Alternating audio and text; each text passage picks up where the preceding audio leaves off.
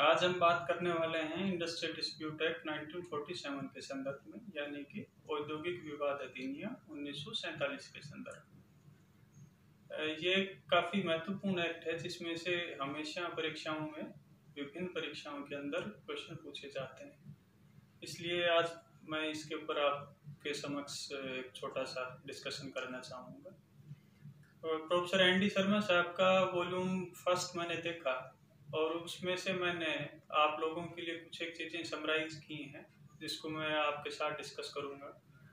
Professor N D Sharma साहब ने इसको एक सामाजिक विधायन कहा है और उसके लिए दीमाकुची टी एस्टेट के कर्मचारियों का जो केस है फ़ेमस केस, उसको उन्होंने उद्धृत किया है और इस उसमें ऑनरेबल कोर्ट ने बताया कि ये जो एक्ट है इंडस्ट्रियल डिस्प्यूट एक्ट इसके उद्देश्य क्या क्या हैं?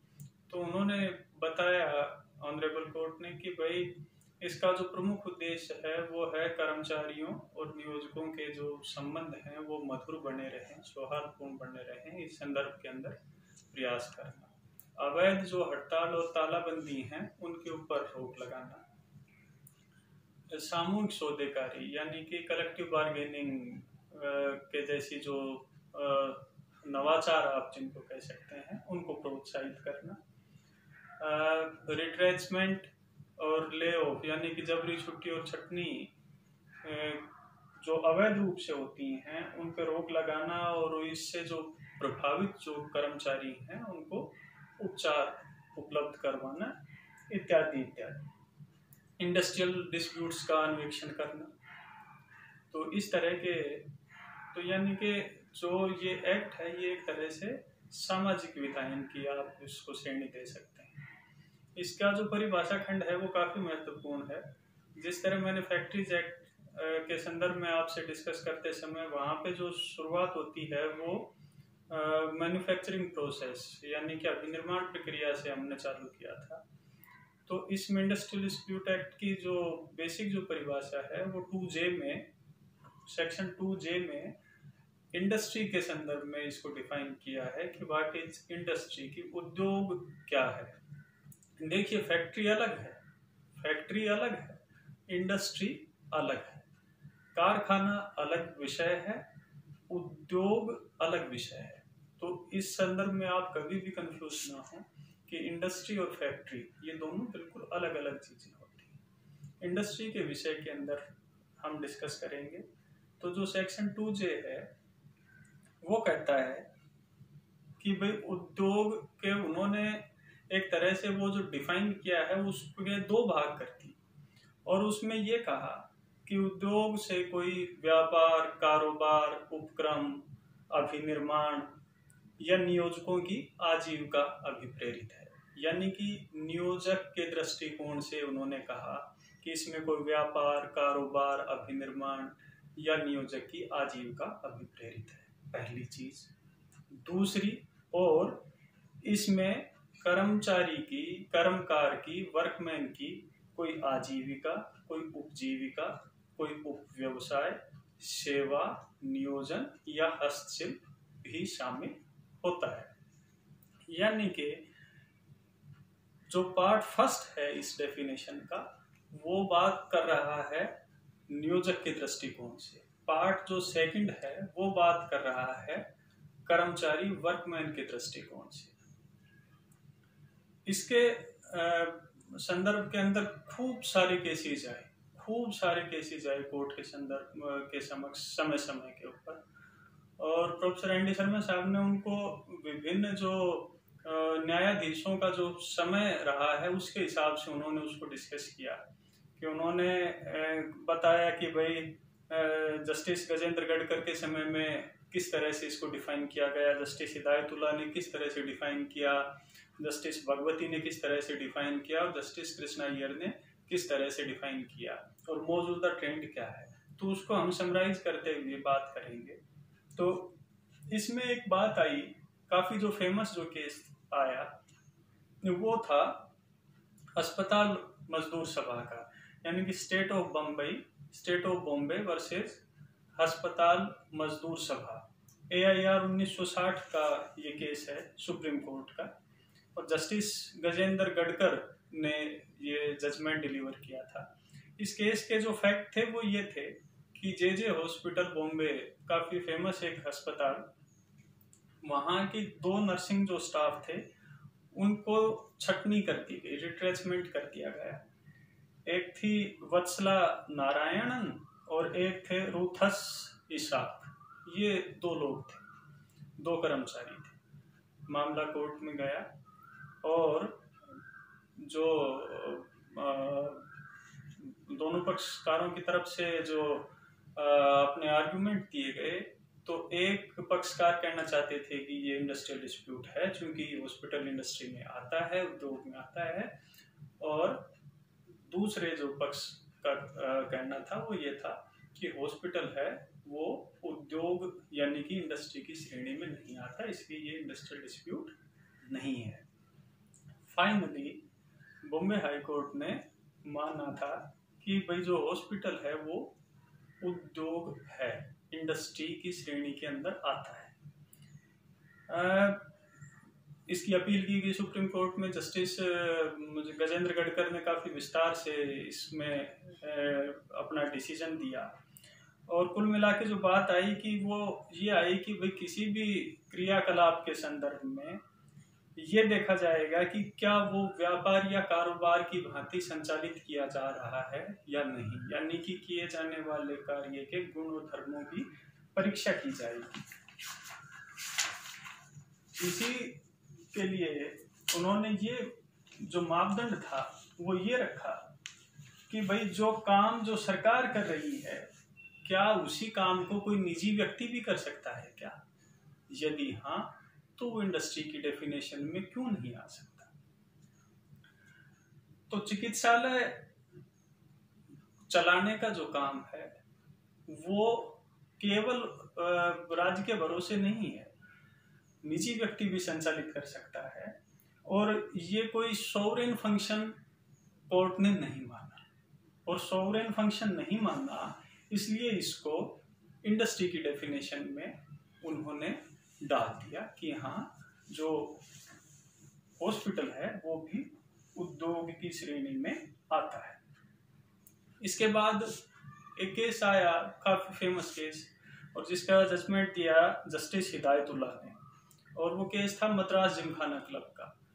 मद्रास जिमखाना क्लब का जो केस था, वो उसमें ये पूछा क्वेश्चन ये था कि जो मद्रास जिमखाना क्लब है, उसके कुछ कर्मचारियों की छटनी कर दी गई थी और वो ही सेम सिचुएशन कि क्या क्लब है, वो इंडस्ट्री की डेफिनेशन में आता है या नहीं? क्योंकि ये जो एक तरह से सेल्फ सर्विस का नो प्रॉफिट नो लॉस के ऊपर चलने वाला क्लब था और जो अपने जो सदस्य थे, उन्हीं को ही ये सेवाएँ प्रोवाइड करवा रहा था। तो जस्टिस हिदायतुल्ला ने कहा कि नहीं भाई, जो क्लब है, वो उद्योग यानी कि इंडस्ट्री की डेफिनेशन में नहीं आता। और बात वो ही कही गई कि क्रियाकलाप, जो कार्यकलाप, जो संचालित किया जा रहा है, क्या वो उद्योग या कारोबार की प्रकृति का है या नहीं, ये देखा जाएगा। उन्होंने कहा कि जो परिभाषा का जो दूसरा खंड है, जो कि कर्मचारियों के दृष्टिकोण से दिया गया है, केवल मात्र वो उद्योग को परिभाषित नहीं करता, बल्कि आप दोनों जो खंड हैं, दोनों जो पार्ट हैं, उनको कलेक्टिव रूप से, उनको क्लब करके ही आप डिफाइन कर सकते हैं कि क्या कोई गतिविधि उद्योग में, की परिभाषा में आती है या नहीं आती। और जस्टिस हिदायतुल्ला ने कहा कि जो फ़र्स्ट जो क्लोज है, जो प्रथम जो खंड है, वो ही उद्योग की सही परिभाषा देता है। ये सारा का सारा एपिसोड चलता रहा। कभी किसी एक्टिविटी को उद्योग माना गया, कभी किसी को नहीं माना गया।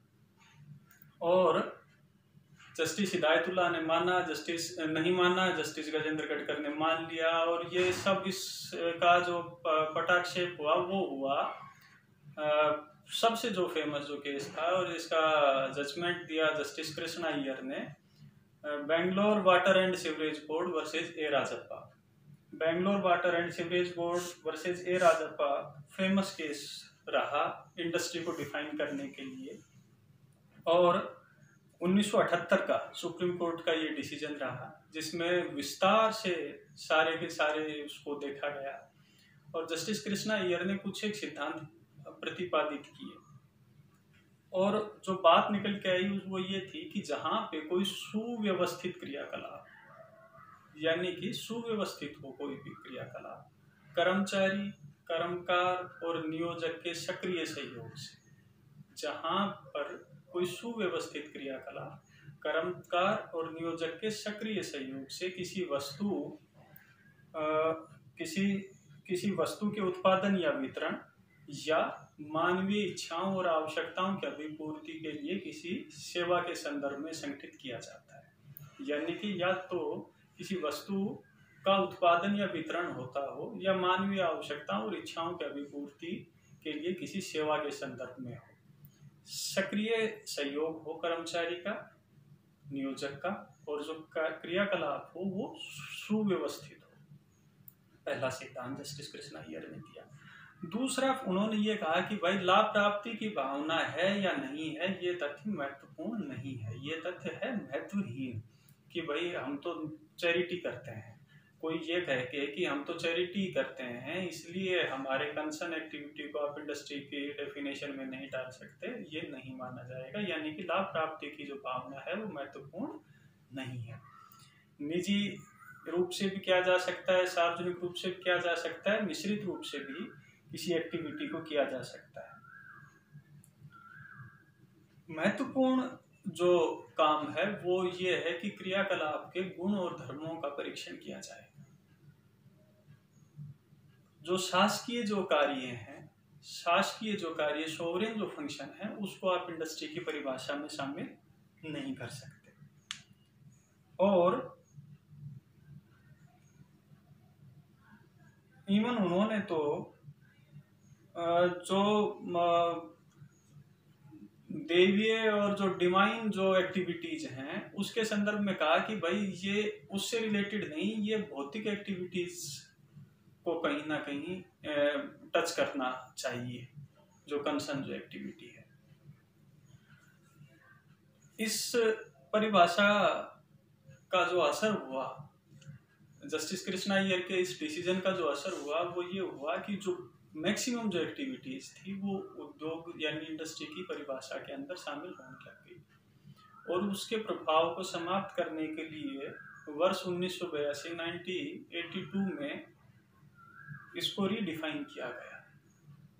इंडस्ट्री की डेफिनेशन को। लेकिन गौर करने वाली बात यह है कि इसको लागू आज तक नहीं किया गया है। रीडिफाइन कर दिया, लेकिन उसको लागू आज तक नहीं किया सन बयासी से लेके 2020 तक। तो वर्तमान परिप्रेक्ष्य में Bangalore water sewerage board versus A Rajappa का जो डिसीज़न है, वो ही प्रमुख रूप से जो एक मार्गदर्शन प्रस्तुत करता है। तो इसी के परिप्रेक्ष्य के अंदर हम कुछ एक चीज़ें देखेंगे। तो क्वेश्चन अलग अलग समय पे अलग अलग तरह के उत्पन्न हुए और ये हुए कि क्या नगर निगम क्या उद्योग है क्या? काफ़ी केसेस आए नगर निगमों के संदर्भ में म्यूनिसिपल कॉरपोरेशन के संदर्भ में। और जो फ़ेमस जो केसेस आए, वो आए D N Banerjee versus P R Mukherjee का। D N Banerjee versus P R Mukherjee, एक बड़ौदा बोरो म्यूनिसिपल कॉरपोरेशन दो। Mukherjee versus Banerjee D N Banerjee versus P R Mukherjee और बड़ौदा बोरो म्यूनिसिपल कॉरपोरेशन, इन दोनों cases के अंदर कहा गया कि जो नगर निगम है, म्यूनिसिपल कॉरपोरेशन है, वो इंडस्ट्री की परिभाषा में शामिल होता है। लेकिन जो नागपुर म्यूनिसिपल कॉरपोरेशन वर्सेज कर्मचारियों का कर्मकारगण का वर्कमैन का जो केस था उसमें ये कहा गया कि भाई जो नगर निगम के जो आ, समस्त कार्य हैं वो उद्योग की परिभाषा में नहीं आते। वो आपको उनका विभाजन करना पड़ेगा संप्रभु काम संप्रभु कार्य और गैर संप्रभु कार्य जैसे टैक्स का कलेक्शन करना है। एक काम साफ़ सफ़ाई शहर की देखनी दो काम ये दोनों चीज़ें अलग अलग हैं। पट्टे जारी करना एक काम।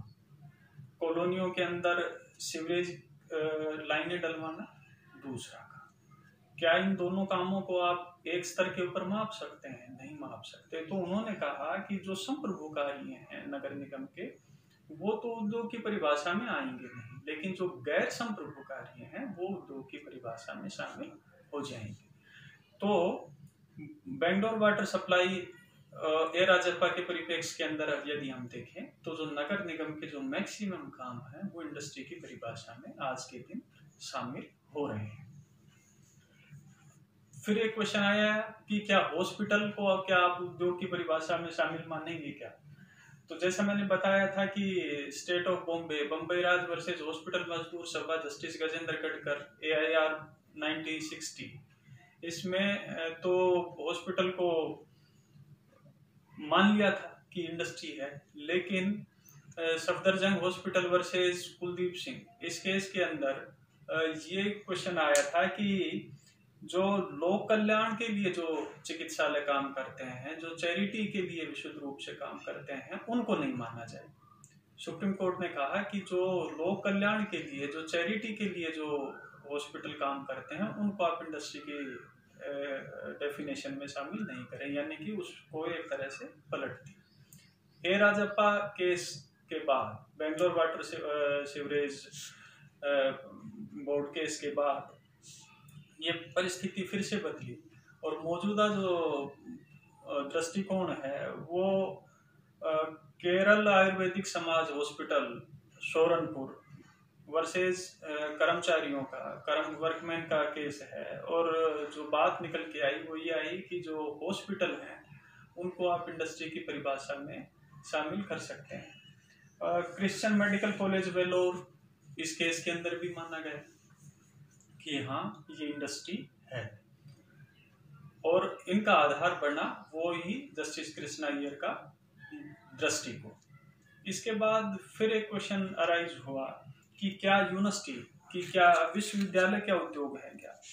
तो ब्रह्म समाज एजुकेशन सोसाइटी, ब्रह्म समाज एजुकेशन सोसाइटी एक काफ़ी फ़ेमस और बड़ा एक संगठन है वेस्ट बंगाल में। तो ब्रह्म समाज एजुकेशन सोसाइटी वर्सेज पश्चिमी बंगाल, महाविद्यालय, कर्मचारी संघ। इस केस के अंदर उन्होंने कहा कि भाई जो उपक्रम जो मनुष्य के बौद्धिक विकास पे निर्भर करता है जो मनुष्य के बौद्धिक विकास के संदर्भ में कोई उपक्रम है तो ये कह के कि एक वो बहुत बड़ा संस्थान है, आप उसको इंडस्ट्री की परिभाषा में शामिल नहीं कर सकते। और यही बात दिल्ली यूनिवर्सिटी, दिल्ली विश्वविद्यालय वर्सेज रामनाथ, इसमें जो यूनिवर्सिटी के जो व्हीकल थे, उनके जो ड्राइवर थे, उनको हटा दिया गया था। क्योंकि उनका यूनिवर्सिटी का मानना था कि ये कोई गैर ज़रूरी एक्टिविटी है और इससे यूनिवर्सिटी की फाइनेंशियल जो कंडीशन है, उस पर एडवर्स इफ़ेक्ट पड़ता है। तो उन्होंने कहा कि भाई जो विश्वविद्यालय है, वो एक शिक्षा प्रदान करने वाली संस्था है। इसलिए आप इसको उद्योग की परिभाषा में शामिल नहीं कर सकते। तो यानी कि ब्रह्म समाज एजुकेशन सोसाइटी केस और दिल्ली विश्वविद्यालय वर्सेज रामनाथ, इसमें कहा कि नहीं, यूनिवर्सिटी है वो इंडस्ट्री उद्योग की परिभाषा में शामिल नहीं हो सकती। लेकिन जस्टिस कृष्णा अय्यर का जो जजमेंट था, उसने इस दृष्टिकोण को फिर से बदल दिया। और जस्टिस कृष्णा अय्यर ने कहा कि यदि शिक्षा एक मिशन है तो जीवन तो अपने आप में ही एक मिशन है। इसलिए जो यूनिवर्सिटी हैं, वो भी इंडस्ट्री की परिभाषा में शामिल हो सकती हैं, उनकी एक्टिविटी भी। उद्योग जस्टिस कृष्ण अय्यर उनको मानते हैं। जस्टिस कृष्ण अय्यर ने तो यहाँ तक कहा कि शिक्षा मात्र एक उद्योग नहीं, अपितु सम सभी जो उद्योग हैं, उनकी जननी है कि शिक्षा तो सभी उद्योगों की जननी है। और फिर एक केस आया जीवाजी विश्वविद्यालय है ग्वालियर में। तो जीवाजी यूनिवर्सिटी वर्सेज सुरेश चंद्र, इस केस के अंदर भी जो यूनिवर्सिटी की जो जो बढ़ई और जो प्लम्बर और ये थे, इनको कर्मचारी कर्म, वर्कमैन मानते हुए इंडस्ट्री माना विश्वविद्यालय को। तो अलग अलग परिप्रेक्ष्य के अंदर इस तरह की परिभाषाएँ आती रही और जो ट्रेंड जो निकल के आया, वो निकल के आया कुछ एक और केसेस के माध्यम से। जैसे कि करनानी प्रॉपर्टीज़ का केस था। उसमें एक कंपनी थी जो कि भवनों को बनाती थी, उनको किराए पे देती थी लिफ्ट वगैरह को मेंटेन करती थी, बिजली पानी की व्यवस्थाओं को मेंटेन करती थी। तो इस तरह की जो सर्विसेज़ थी, उसको भी इंडस्ट्री माना गया। फिर एक केस आया नेशनल हाईवे अथॉरिटी का, जिसमें राजमार्ग का जो एक जो खंड था, उसको भी जो मेंटेन जो करने वाली जो कंपनी थी। उससे, उसके कर्मचारियों के संदर्भ में था उसको इंडस्ट्री माना गया। इसी तरह workman of Baikunth Baikunth Nath Devasthan trust का एक केस आया। उसमें जो पुजारी था उसको तनख्वाह नियमित रूप से मिलती थी और सभी खर्चे वर्चे और ये सब हटाने के बाद बहुत बड़े तादाद के ऊपर चढ़ावा और एक बहुत ही लंबा चौड़ा, एक ट्रस्ट इसको चलाता था, उसको उद्योग माना गया। ग्राम पंचायत वर्सेज पीठासीन अधिकारी नागपुर, इसमें जो ग्राम पंचायत के जो शासकीय काम थे, उनको इंडस्ट्री में शामिल नहीं किया गया। इसके बाद सुंदर नारायण वर्सेज भारत शासन सचिव, श्रम मंत्रालय का जो केस था, उसमें जो प्रतिरक्षा जो संस्थान है उन उनकी कुछ एक एक्टिविटी को इंडस्ट्री के अंदर शामिल किया गया। तो वस्तु स्थिति जो निकल के आई, वो ये आई कि ये डिपेंड करेगा कि जो कार्य जो संपादित किया जा रहा है, उसकी प्रकृति कैसी है। यानी कि जो जस्टिस कृष्णा अयर कहते हैं कि जो क्रियाकलापों के गुण धर्मों का परीक्षण किया जाए, बात वहीं की वहीं आके निकलती है। कुछ एक यदि हम बात करें राजस्थान के संदर्भ में तो राजस्थान सरकार का जो समाज कल्याण विभाग है इवन उसकी एक्टिविटीज़ जो कुछ एक है, उनको इंडस्ट्री में डिफाइन किया गया। और केस था Kanhaiyalal versus state of Rajasthan. इसके बाद ये था कि जो ग्राम पंचायतें जो वाटर सप्लाई की आपूर्ति करती हैं, जो हैंडपंप जो लगते हैं, उनको सुधारने वाले मिस्त्री जो थे, उनसे रिलेटेड एक केस था।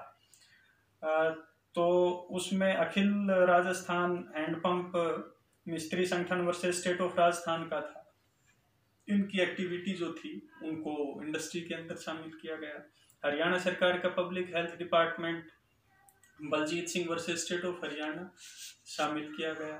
तो वस्तु स्थिति साथियों निकल के यही आई कि जो जजमेंट जस्टिस कृष्णा अय्यर ने दिया, Bangalore water supply and sewerage board versus A Rajappa, उसके परिप्रेक्ष्य के अंदर ही कि लाभ प्राप्ति की भावना महत्वहीन है और आप क्रियाकलापों के गुण धर्मों का परीक्षण करेंगे। कर्मचारी, नियोजक का सक्रिय सहयोग होना चाहिए और किसके लिए? या तो किसी वस्तु के उत्पादन या वितरण के संदर्भ में, या या फिर मानवीय आवश्यकताओं और इच्छाओं की अभिपूर्ति हेतु किसी सेवा के संदर्भ में। कार्य क्रियाकलाप है, वो कैसा होना चाहिए? सुव्यवस्थित होना चाहिए। तो इस तरीके की जो बातें जो निकल के आई, उसी से, और जब तक कि उन्नीस सौ बयासी के संशोधन की जो परिभाषा है, वो लागू नहीं होती, तब तक की जो मार्गदर्शन जो करेगा वो यही A Rajappa case, justice Krishna Iyer का दिया हुआ ही करेगा। मैं उम्मीद करता हूँ कि एक हद तक आपके जहन में ये चीज़ें क्लियर हुई होंगी। अगले उसमें हम डिफाइन करेंगे कि भाई इंडस्ट्रियल डिस्प्यूट क्या है हड़ताल यानी कि स्ट्राइक क्या है लॉकआउट क्या है। लॉकडाउन अलग चीज़ होती है लॉकआउट अलग चीज़ होती है। आप लॉकडाउन की अनुपालना करें। लॉकआउट के संदर्भ में बात करेंगे। उसके बाद हम बात करेंगे छटनी और ले ऑफ़ या रिट्रेसमेंट और ले ऑफ़ यानी कि जबरी छुट्टी और छटनी के संदर्भ में। इस तरह की जो, जितनी भी जो डेफिनेशन जो क्लास है, उसको मैं अगले उसमें आपके समझ डिस्कस करूँगा। तब तक के लिए जय हिंद। नमस्कार।